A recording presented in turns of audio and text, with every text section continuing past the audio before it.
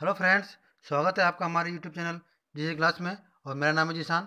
दोस्तों, आप लोगों को जो क्वेश्चन था, जो इंतज़ार था, वो लगभग ख़त्म हो चुका है क्योंकि यहाँ पर बहुत बड़ी एक खबर निकल कर आ रही है कि चयन जो है, वो कब तक पूरा होगा?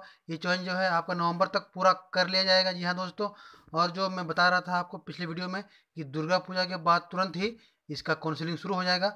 तो सारा अपडेट मैं लेकर आया हूँ क्योंकि ये हिंदुस्तान की न्यूज़पेपर में ये छपा है, जो कि पूरा रेपुटेड आपका न्यूज़पेपर है जो कि पूरे कन्फर्म होने के बाद ही न्यूज़ छापता है। तो मैं आपके लिए ये अपडेट लेकर आया हूँ कि क्या है वैकेंसी इसकी जो मेरिट लिस्ट आएगी वैकेंसी की, वो कब आएगी ज्वाइनिंग कब होगा काउंसलिंग कब होगा, कैसे होगा और कितने आदमी का मेरिट लिस्ट बनेगा।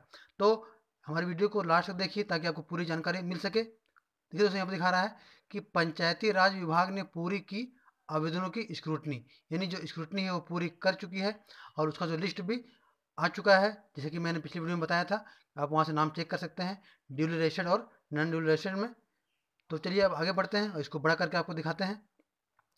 देखिए दोस्तों, यहाँ पर दिखा रहा है कि लेखापाल और सहायक के इकतालीस सौ बिरानवे पदों पर चयन जल्द। यानी इसका चयन जो है, जल्द होने वाला है। चलिए मैं आपको दिखा दे रहा हूँ, स्टेप बाय स्टेप करके। देखिए वीडियो को लास्ट तक। देखिए आप दिखा रहा है कि पंचायती राज विभाग के अधीन संविदा पर होने वाली लेखापाल सह आईटी सहायक और तकनीकी सहायकों की नियुक्ति को लेकर अभ्यर्थियों का चयन नवंबर में कर लिया जाएगा। ये दोस्तों, यहाँ पर साफ़ साफ़ लिखा गया है कि अभ्यर्थियों का जो चयन है, वो नवंबर के लास्ट तक वो फाइनल कर लिया जाएगा। नवंबर में आपको ज्वाइनिंग मिल जाएगा। इसके तुरंत बाद इसकी नियुक्ति भी कर दी जाएगी। पंचायती राज विभाग ने उक्त पदों पर नियुक्ति को लेकर आए आवेदनों की स्क्रूटनी का काम पूरा कर लिया है। जैसा कि मैंने भी पिछली वीडियो में बताया था उसका लिस्ट में आ चुका है, वहाँ से आप चेक कर सकते हैं। दुर्गा पूजा की छुट्टी के तुरंत बाद, यानी दुर्गा पूजा जो दसवीं है, वो उन्नीस तारीख को है। ये बीस या इक्कीस के बाद से आपका जो है अभ्यर्थियों की सूची जिलों को भेज दी जाएगी।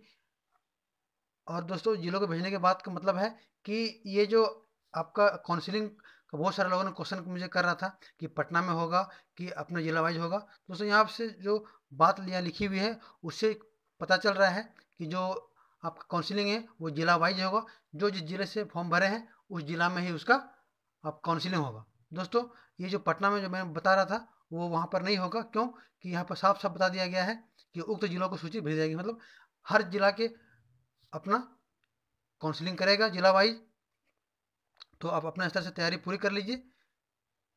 उक्त दोनों ही स्तर के बीस सौ छियानवे और बीस सौ छियानवे अर्थात टोटल जो है इकतालीस सौ बिरानवे पदों पर नियुक्ति होनी है। इसके लिए ऑनलाइन आवेदन अभ्यर्थियों से लिए गए थे। पंचायती राज व्यवस्था को सशक्त करने और सात निश्चय के साथ तहत हो रहे हर घर, नल का जल और हर गली नलीकरण के कार्यान्वयन में तेज़ी लाने के मकसद से ये नियुक्तियाँ की जा रही है। जिला समिति द्वारा अभ्यर्थियों को काउंसलिंग के लिए एक ही दिन बुलाया जाएगा। यह दोस्तों यहाँ देख लीजिए, जो काउंसलिंग होगा, वो एक ही दिन बुलाया जाएगा। अब मैं इसको बता दूँ आपको डिटेल से, वो एक ही दिन क्यों बुलाया जाएगा? क्योंकि ये हर जिला वाइज अब उसके उसके ज़िले में होगा और एक दिन बुलाने का मतलब ये है कि जैसे कोई इस जिला का आदमी दूसरे जिला में ना जा पाए। इसीलिए ये एक ही दिन में कराया जाएगा, ताकि जो जिस ज़िले में है, उस ज़िले में पहुँच सके। क्योंकि इससे क्या होता है कि अगर अलग अलग डेट में हो तो दूसरे ज़िले में जाके वो कर सकते हैं। इसीलिए ये एक ही दिन किया जाएगा। ताकि कोई भी अभ्यर्थी किसी एक ही ज़िले की काउंसिलिंग में भाग ले सके। यहाँ साफ़ साफ़ लिखा गया है, क्योंकि एक अभ्यर्थी को किसी एक ही ज़िले में आवेदन करना था। अभ्यर्थियों के चयन की ज़िम्मेदारी ज़िले में जिलाधिकारी की अध्यक्षता में गठित समिति कोई है। समिति अभ्यर्थियों की मेगा सूची बनाई जाएगी, जिसमें पद से पचास फ़ीसदी अधिक अभ्यर्थियों को शामिल किया जाएगा, ताकि आगे पद रिक्त होने पर इन्हें नियुक्त किया सके। दोस्तों, यहाँ मैं आपको क्लियर कर दूँ, पचास फ़ीसदी का मतलब क्या है? जैसे मैंने पिछली वीडियो में बताया था, देखिए आप दिखा रहा है कि टोटल जो पोस्ट था, वो था बीस सौ छियानवे करके, दोनों के लिए अकाउंटेंट के लिए और टेक्निकल असिस्टेंट के लिए। इंटू टू करने के बाद हो जाता है इकतालीस सौ बिरानवे। और इकतालीस सौ बिरानवे जो होता है, उसके बाद जो टोटल है, उसको इंटू अगर इंटू करेंगे इंटू टू से तो हो जाता है आपको आपको तिरासी सौ चौरासी, यानी आठ हज़ार तीन सौ चौरासी। यानी इतने आदमी का दोस्तों, मेरिट लिस्ट बनेगा, क्योंकि वहाँ साफ़ साफ़ लिखा है कि फिफ्टी परसेंट का अधिक, यानी जितना भी वैकेंसी है, कितना वैकेंसी है?